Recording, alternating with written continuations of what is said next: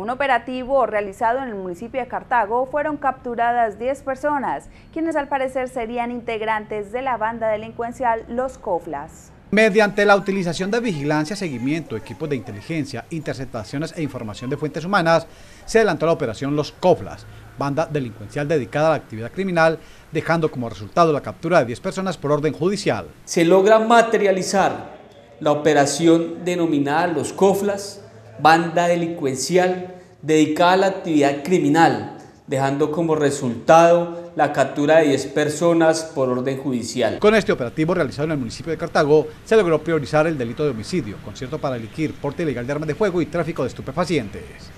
Se logra la incautación de dos celulares móviles y la incautación de 510 mil pesos en efectivo, producto de las rentas ilícitas criminales. Las diligencias de registro y allanamiento permitieron la captura por orden judicial de alias Víctor Planeta o Cabezón, líder de la banda, alias El Negro, alias El Huevo, alias Barbado, La Vieja Luz, El Peludo, Salomón, alias Tití, Juancho, quienes tenían injerencia delictiva en el municipio de Cartago.